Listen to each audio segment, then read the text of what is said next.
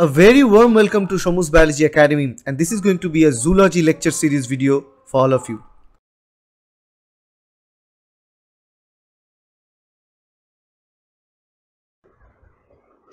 Three Kingdom concept of Carl Woese 1990. The three domain system was first introduced by Carl Woese in 1990. That's why it's called Carl Woese's classification. This classification system also is known as three domain classification because it divides the life forms into three domains. The three domains of Carl Woese's classification include archaea, bacteria and eukarya.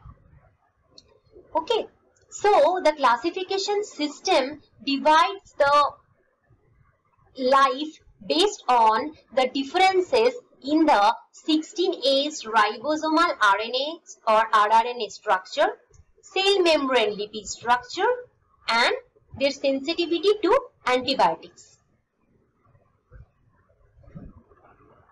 In this classification, Carl Woese used 16S ribosomal RNA as a chronometer because of it is universally distributed means it is present in all species.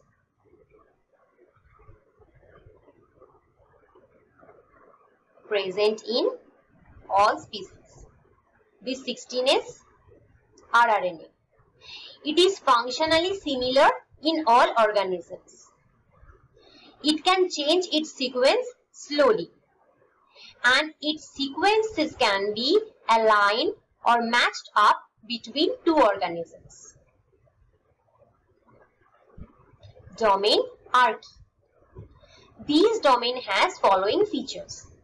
They are obligate or facultative anaerobes.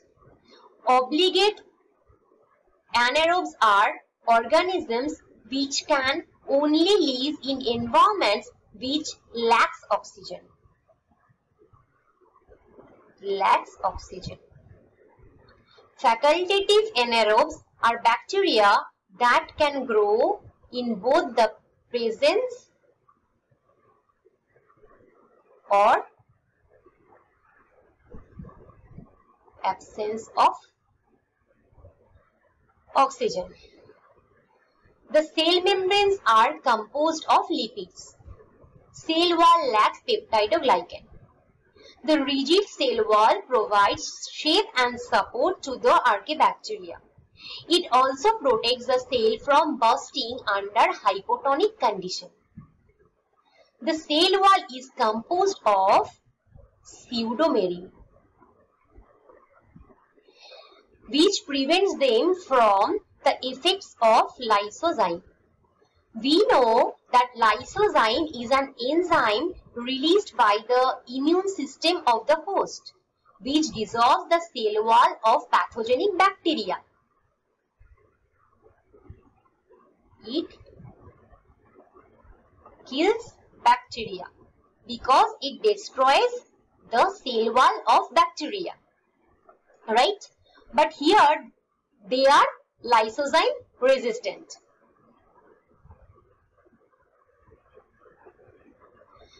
They do not possess membrane-bound organelles such as nuclei, endoplasmic reticulum, mitochondria, lysosome or chloroplast. Its thick cytoplasm contains all the compounds required for nutrition and metabolism. They can live in a variety of environments and hence are called extremophiles. They can survive in acidic and alkaline aquatic region. Okay. And also in temperature above boiling point. They can withstand a very high pressure of more than 200 atmospheres. They can withstand that much of pressure. They are indifferent towards major antibiotics because they contain plasmids which have antibiotic resistant enzymes. The mode of reproduction is asexual known as binary fission. Archaea has three phyla such as uh, such as Crenarchaeota, Euryarchaeota and Korarchaeota. So, first of all, Crenarchaeota. They are tolerant to extreme heat or high temperature. They have special proteins that help them to function at temperature as high as 230 degree Celsius. They can be found in hot springs, regions with superheated water. These includes thermophiles, hyperthermophiles and thermoacidophiles. Euryarchaeota. These can survive under extremely alkaline conditions and have the ability to produce methane, unlike any other living being on Earth. These includes methanogens and halophiles. Korarchaeota. These are supposed to be the oldest surviving organism on Earth.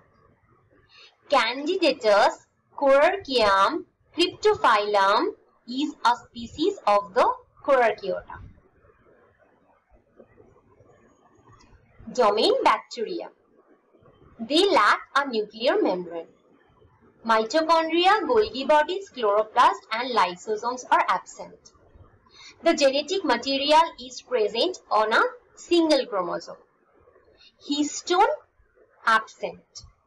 So, histone protein that is the important constituent of eukaryotic chromosome, right? So, bacteria lack them. The cell wall is made up of carbohydrate and amino acid. Plasma membrane acts as the mitochondrial membrane carrying respiratory enzymes. They divide asexually by binary fission and the sexual mode of reproduction involves conjugation.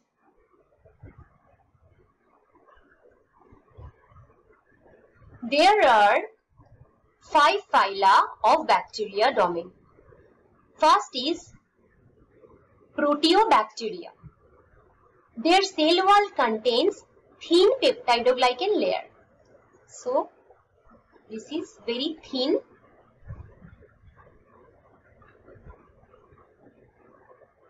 peptidoglycan in the cell wall. Additional layer of lipids and sugar around the cell wall can be found. Lipid and sugar.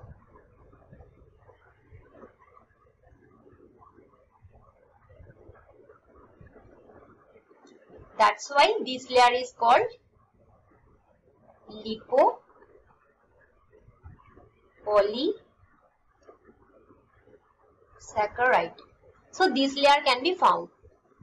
They are gram-negative bacteria.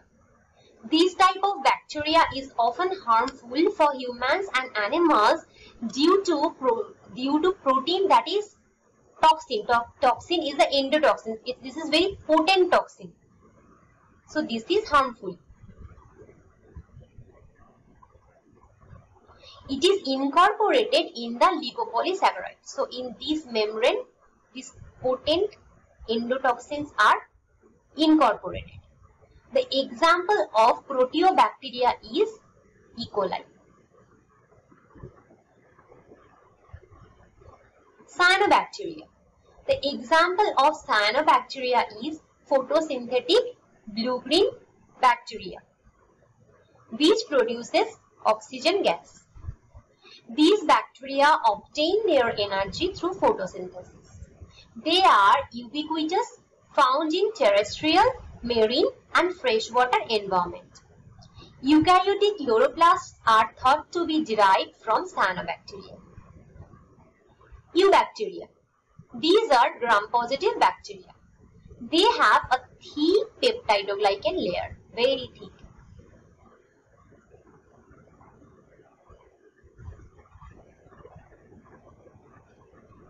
Thick peptidoglycan layer. And they can take gram stain. They do not have outer lipid membrane. Lipid membrane they do not have. Example is Staphylococcus. Chlamydias. All members of this group are obligate intracellular parasites of animal cells. That means they are organisms that cannot complete its life cycle without exploiting a suitable host. If an obligate parasite cannot obtain a host, it will fail to reproduce. Cell wall lacks peptidoglycan. The example of chlamydia is chlamydia trachomatis that causes blindness. Spirochete. Most members of this species contain spiral shaped cells. Free living anaerobes, anaerobes there. Some are pathogenic. Flagella arise from the periplasmic space between inner and outer membrane. So, cell wall has the inner membrane and outer membrane. And in between this inner and outer membrane have the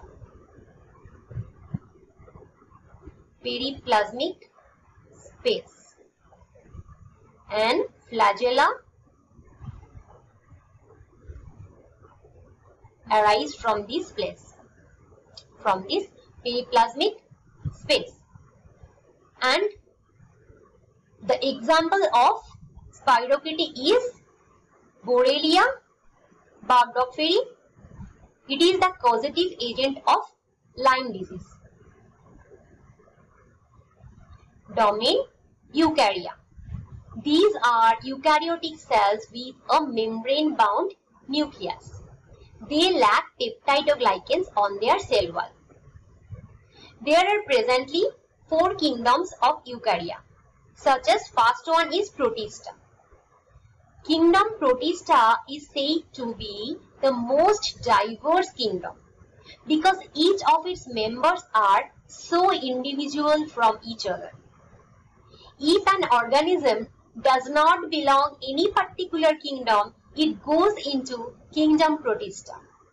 It is known as the odds and ends kingdom because the outlier organisms who are really the miscellaneous organisms are all placed in this kingdom protista. Example, slime molds, euglenoids, algae, protozoa, etc. Fungi Historically, fungi were included in the plant kingdom. However, because fungi lack chlorophyll and they had a different type of cell wall, so they have been separated from plants. Example is Penicillium. Plantae. Organisms in the plant kingdom differ from other kingdoms in that they all contain chlorophyll, which is necessary to perform photosynthesis. They are stationary and cannot move from one spot to another. And their cell walls contain cellulose. Their cell wall contains cellulose. These are mosses, ferns, conifers and flowering points. Animalia. Unlike plants and fungi, animal cells do not have a cell wall. In addition, with the exception of sponges, this is the exception, cells are divided into specialized tissue or organs. Animalia is the most diverse kingdom, consists of so many different species varying dramatically from others. Example, sponges, worms, insects, vertebrates, etc. If you like our video, please hit the like button, share this video with your friends and colleagues and please don't forget to subscribe to this channel so that you get more and more of this kind of video in future. Thank you.